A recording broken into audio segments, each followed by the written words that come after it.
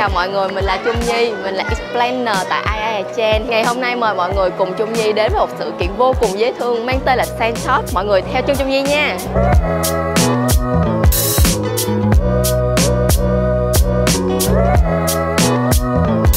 Các bạn có biết đây là gì không? Trên tay Trung Nhi đây là một sáp thơm nè và đây là tinh dầu. Thì hai cái này sẽ kết hợp lại với nhau sẽ tạo thành một cái ờ, là dễ thương luôn, cho mọi người mang về đến nhà sẽ giúp cho mọi người cảm thấy thoải mái hơn và xua tan mệt mỏi sau những ngày làm việc.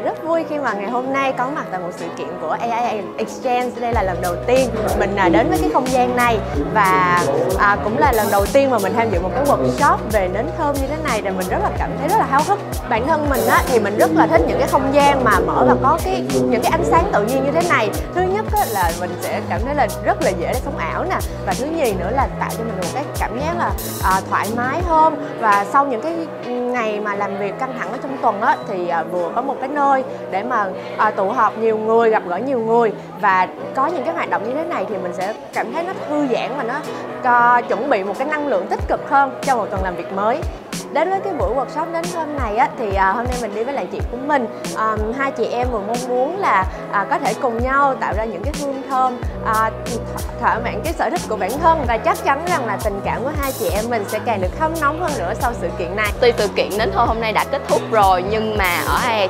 còn rất là nhiều sự kiện lý thú hơn nữa. Mong các bạn sẽ theo dõi AI nhé.